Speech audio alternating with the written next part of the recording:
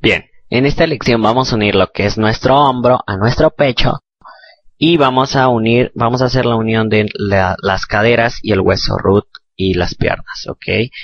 Bien, puedes continuar con tu lección o abrir la lección que te hemos proporcionado con el curso de Ray 3D Marciano, lección 4 final, ¿ok?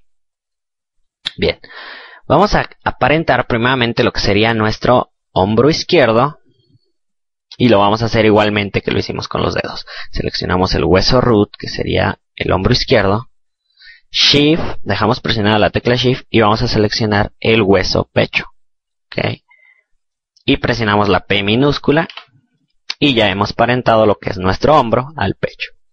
Es decir, cuando el pecho rote, va a rotar con nuestro, todo nuestro brazo. Bien. Ahora, vamos a hacer a aparentar la parte de aquí, lo cual podemos hacerlo directamente, pero me gustaría enseñarles la forma de meter lo que sería un joint para tener un mayor control en la cadera. Es decir, nosotros podemos unir simplemente así, pero para tener un mayor control de nuestro personaje y para poder realizar un poco, eh, un poco mejor lo que sería el movimiento de cadera. Para darle mayor control a nuestro rig, vamos a crearle un joint que le dé la capacidad de mover la cadera, eh, aparte de mover todo el hueso root, ¿ok? Esto es simplemente con, eh, con la finalidad de tener mayor control. Eh, incluso aquí pudimos haber creado otro joint para darle un control en el hombro. Pero en este caso creo que es más efectivo lo que sería para la cadera. ¿ok? Bien, nos vamos a ir a nuestra vista de lado. Vamos a activar nuestra herramienta Join Tool. Y vamos a crear lo que sería primeramente un joint para darle un mayor control a la cadera.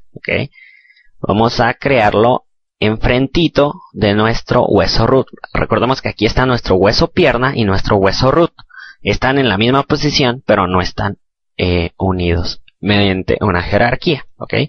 Vamos a crear el hueso cadera aquí adelantito y lo terminamos aquí abajo. Presionamos Enter. ¿ok? Simplemente recordemos que nuestro hueso cadera va a cruzar a nuestro hueso root hacia abajo. Bien. Ok, nos vamos a nuestra vista perspectiva, presionamos la tecla F para enfocarnos a él. Y a este lo vamos a nombrar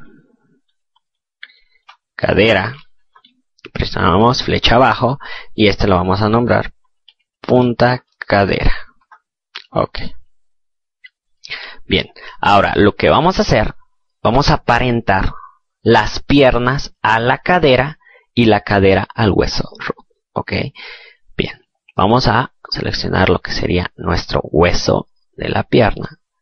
Dejamos la presionada la tecla Shift y seleccionamos nuestro joint cadera presionamos la P minúscula para, para, perdón, para aparentarlos y ya los hemos parentado. Ahora lo que vamos a hacer es, para verlo de manera más clara, irnos a nuestra vista side. Vamos a seleccionar nuestro hueso cadera, dejamos presionada la tecla Shift y seleccionamos nuestro hueso root. ¿Ok? Y presionamos la, la P minúscula y casi no, se nota, pero ya hemos parentado lo que es nuestro hueso de la cadera a nuestro hueso root. ¿okay? Entonces recordemos, simplemente vamos a crear un joint que cruce a nuestro hueso de la pierna o al hueso root de arriba hacia abajo.